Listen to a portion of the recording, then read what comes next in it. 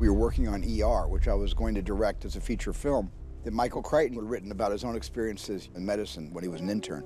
And I asked him one day what he was doing next, what kind of book was he writing, and he said, All I can tell you, because all my books are secret, this book is about dinosaurs and DNA. And it changed my life because I immediately lost interest in ER as a movie and started pumping him for news about what this was all about. And that was the beginning of evolving Jurassic Park into a film. The first time I remember openly defying my parents. Uh, I, I, was about 15 years old, maybe 16, and I was grounded from seeing movies for several weeks.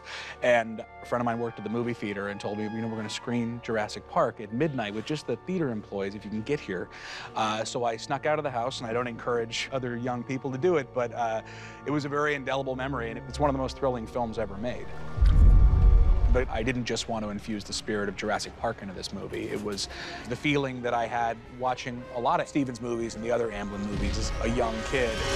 Ready and action! This movie is more about bringing back the feeling that all of those movies gave me, and it's not something that you can define necessarily, and it's not something you can manufacture.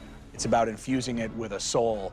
It just makes you feel like you want to be on that adventure with those characters.